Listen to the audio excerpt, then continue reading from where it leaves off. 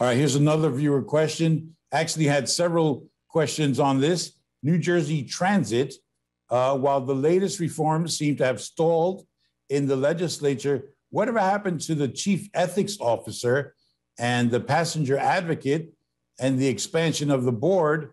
All were stipulated in the last reform bill a year or so ago. None are in place right now. You used to say you'd fix it or it would kill you. You're alive and kicking, uh, but still work to do over at NJ Transit. Yeah, I, and, and, David, fair point, and that those are all um, in process. So I've got no news to report, but we have not given up on any of those.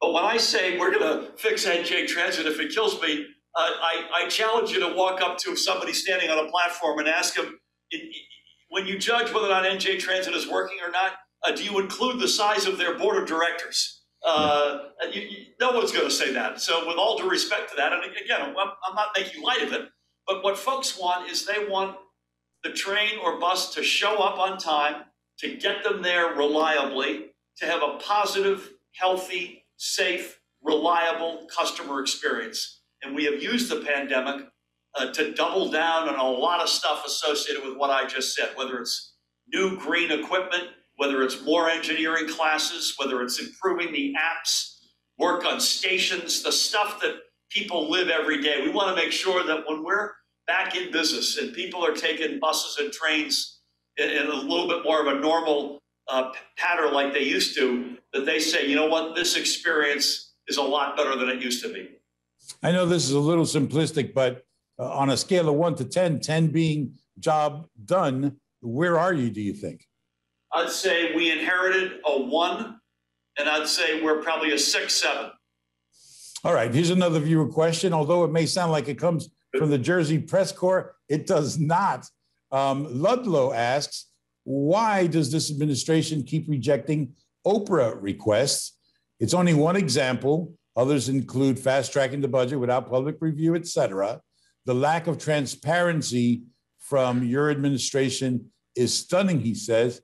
And well, when will you ever take live questions? What are you scared of? Well, Ludlow, he is taking your questions right now, uh, and he is doing it live.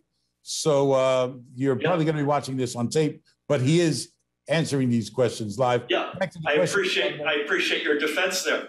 Um, sure. We, we, we Many of my colleagues in the press corps have expressed similar concerns about OPRA and FOIA requests. Okay. It takes way longer than it should. Okay, so so a couple of things. We take live questions for Ludlow. This is for Ludlow, David, not for you, because I know you know the answer. We take live questions from the press, from the public in town halls, including virtual ones. And just as Ludlow was asked, when you when, when shows like this take viewers' questions, yep. uh, people are not afraid to walk up to me on the street. I promise you. Uh, uh, so, with, with all due respect, I don't accept the premise uh, as it relates to OPRA, we take that very seriously. I think what you're seeing is a combination because of a pandemic on both sides of this. You've got an overwhelming amount of interest in information, and you've got a lot of challenging working circumstances among um, among our staff and team. But we, we take those very seriously. Uh, it may be slower than people like for the reasons I just articulated. As it relates to the budget, I would say a little bit with all due respect. Um, the, the, the part that I would want Ludlow and others to focus on is we, we presented our budget in late February. It got signed in late June. So in that four month period, there were dozens of hearings, uh, frequent updates on revenue forecasts that were moving around, um, a lot of good back and forth interaction. And the budget that I ultimately signed, I believe, was uh, had a 14 page difference from the one I presented in February. Now, would I be open minded to a longer period uh, between a bill being presented, whether it's a budget or other bill, and it being um, uh, voted on? I suspect the legislative leadership, without putting words in their mouth, we would, would also join me in being open minded to ways that we can make the process even even better, including that everyone's focused. I know Ludlow's question is focused on that last that last moment uh, when the final budget is presented and voted on. Um, so, would I be open to, to, to making that a, a, a longer, more open process? Absolutely. But you'd have to admit, Governor, that it shouldn't take weeks to get a copy of a resume or the cost of local elections or state state costs of elections. That shouldn't take weeks to get, right? Yeah, I, I can't I can't um, agree with you only because I I, I don't want to imply that we're sitting on stuff because I don't right. think we are. I just don't think we are. All right, let, us move on then. Uh, here's another question. In January 21, you projected over-the-counter cannabis sales would become a reality in late summer or early fall. Colorado's been doing this for over six years. So it's not like the CRC doesn't have a model to follow. Uh, the question is Will we see uh, cannabis sales in late uh, summer or early fall? And if not, why not? Listen, we, Colorado's been at it, but so have other states, and no one state has done it completely right. So I would say, with respect to the premise, uh, our commission is working day and night as we speak to make sure we get it as right as we can, uh, including on the important dimensions like equity. Um, and so this is complicated.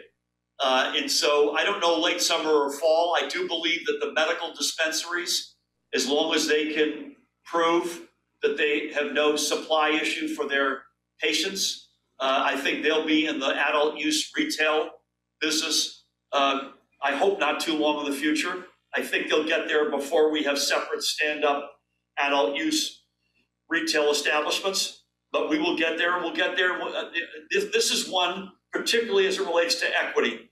Uh, this is one where it's far more important to get it right than to get it fast. That's not to say that we're sitting on our hands or letting grass grow, no pun intended. Uh, but uh, getting it right is really important on this one. All right. Amy asks uh, the anti detention bill S3361 is still awaiting your signature. It's something that you've supported in the past. When can New Jerseyans expect the bill to be signed?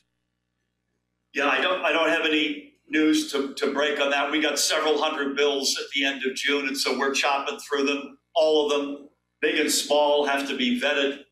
Um, and and we've got a, a, an army of folks who do that.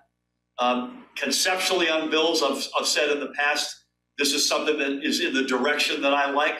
Uh, but I want to, with, with uh, I want to beg Amy's patience and forgiveness here. I don't want to comment on a specific bill that I haven't personally done done the work on that that we will ultimately do. All right, a couple of quick questions, short answers, if you will, because I know we're running out of time. Uh, will you support legislation that brings ranked choice voting to New Jersey? It's not one that I've been hugely passionate on. I'm not saying heck no. Uh, it's nothing like in person early voting that I have strongly supported, and we finally, at long last, have. I'll even put aside the hiccups that New York City had uh, with their Board of Elections. I'm going to even put that uh, to the side. I don't have great passion on this one. Am I open minded? Uh, yes, and I'll leave it at that. All right, so meh. Meh, uh, yes. All right, looks like a federal. Get, getting people turned out to vote, and I don't care if they're Democrats, Republicans, whatever they are, whether they vote for me or not, getting as many people to vote as possible is our obsession and opening democracy up. All right, looks like an infrastructure bill is going to clear Congress. Two questions on that. Governor Cuomo says he's not going to pay New York's share of the Gateway project. You concerned about that? And what's the top New Jersey specific infrastructure project? Gateway is the one that that jumps off the page. It's the biggest in the country, and it impacts New Jersey commuters, rail commuters, uh, enormously. But there's going to be roads, bridges, rails, tunnels. We're the most densely populated state in the nation. We have a, a our share, a high share of legacy assets. It's going to be a lot of singles and doubles, and they're going to be game changers. Uh, this is a huge help to New Jersey. Uh, we will get it right uh, with New York. They've been a great partner over the years. They've been a great partner during this pandemic. I'm confident that we'll find a, a good resting place on Gateway.